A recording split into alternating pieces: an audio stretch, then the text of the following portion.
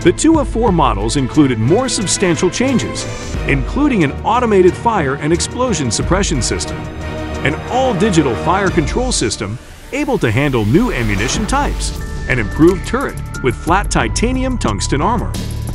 The Leopard 2, a forest kinetic protection, is reasonable, with the turret cheeks near invulnerable to all. But the most powerful rounds egg CL3143 and the upper front plate capable of protecting against less powerful rounds egg M735 however besides these sections, the remainder of the vehicle is largely vulnerable to high-powered kinetic rounds.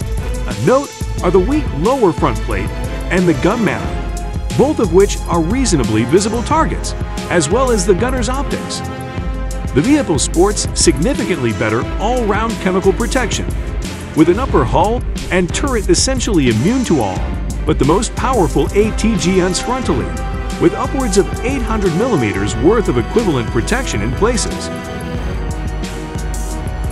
Despite this, it's advisable to be wary of incoming ATGMs as a well-placed round may sneak past the heavily protected areas and some missiles, such as those of the AB-8TS, will slice straight through even the turret cheeks.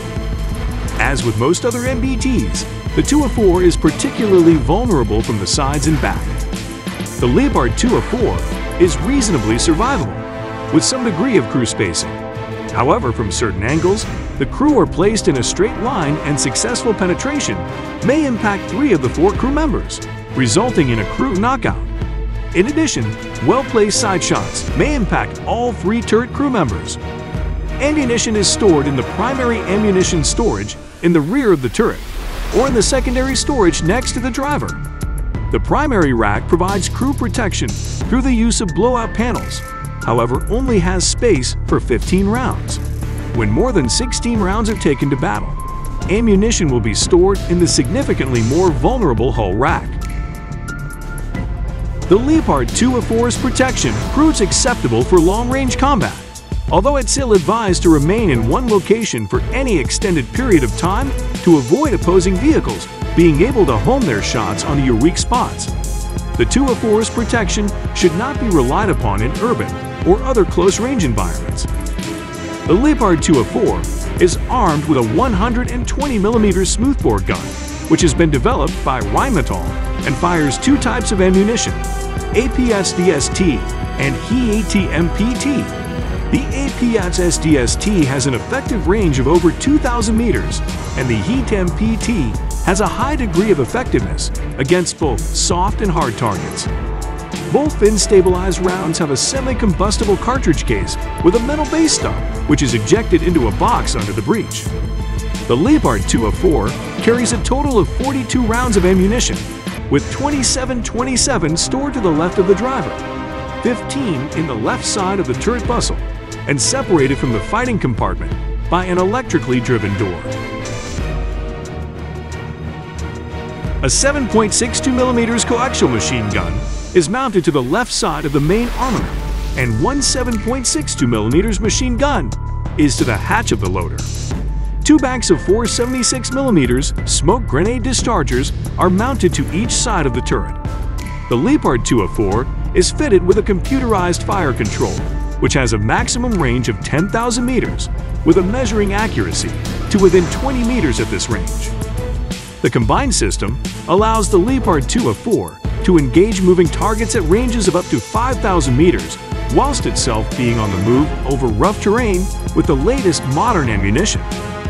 The hull of the Leopard 2A4 has spaced multi-layer armor and is divided into three compartments driver at the front, fighting in the center, and power pack at the rear.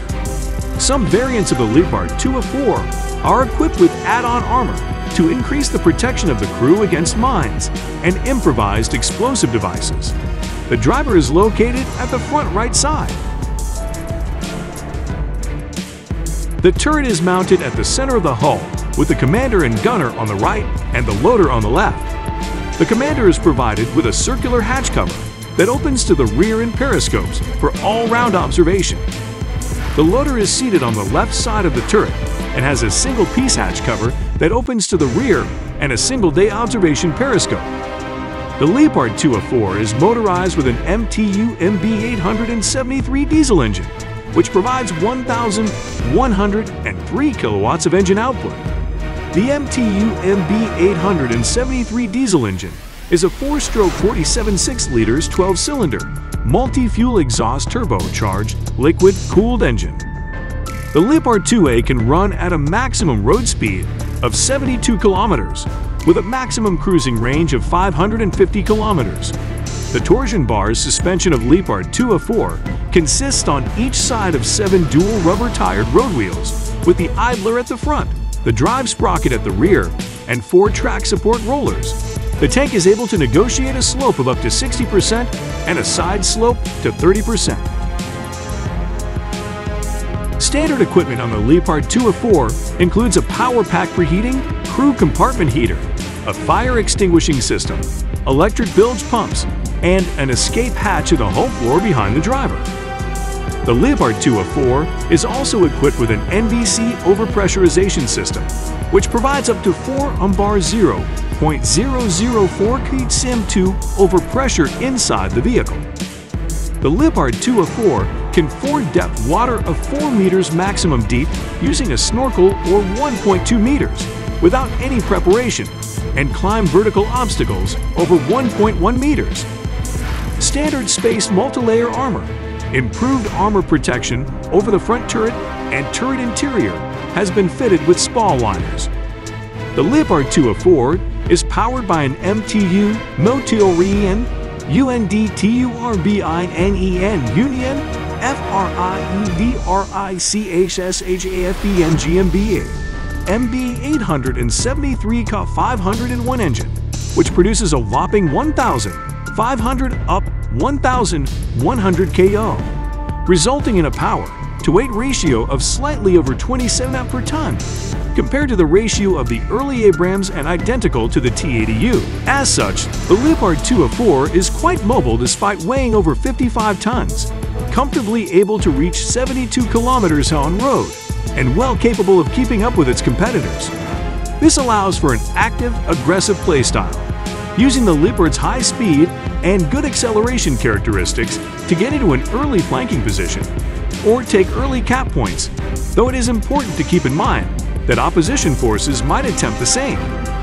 The Leopard 2A4 has a maximum reverse speed of 31 kilometers, which it reaches easily, allowing for a quick retreat in suboptimal situations. Evolution armor is modular and can be upgraded depending on the intensity of the conflict. The additional armor blocks consist of composites aluminum, titanium alloys, steel alloys, and ceramics, although exact performance is naturally classified. The armor covers the frontal half of the vehicle and most of the turret, the most exposed parts, another important, albeit optional anti-mine, and in the form of extra bottom plating.